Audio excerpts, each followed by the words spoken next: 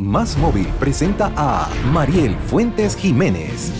Rompe hoy con la rutina porque no existe nada que te limite. La oratoria me empuja a ir más allá, a desarrollar mi creatividad y pensamiento crítico, a entender que no lo sé todo, pero que puedo mejorar cada día más. Por eso estoy aquí, porque así como tú, merezco alzar mi voz y ser escuchada.